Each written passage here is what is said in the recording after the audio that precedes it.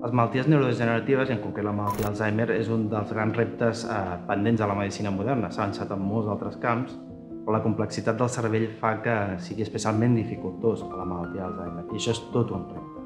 I em van dir de fer una prova. Vam fer una prova i va sortir això del, de la clínica. perquè la meva mare va passar això, però jo tinc por que em passi a mi, que no coneixi els meus fills, que no reconeixi els meus nets, i sobretot el que pitjor m'aniria és pensar que algú té que cuidar-me i que jo no me n'enteri i, i causar molèsties i ser una càrrega.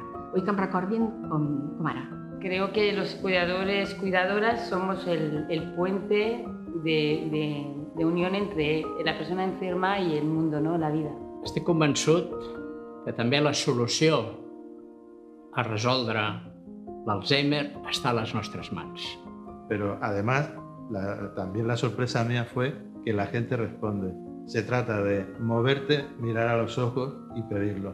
El día que el señor Pascual Maragall tuvo la valentía de salir en televisión anunciando que él tenía Alzheimer y que iba a crear la Fundación Pascual Maragall para la investigación.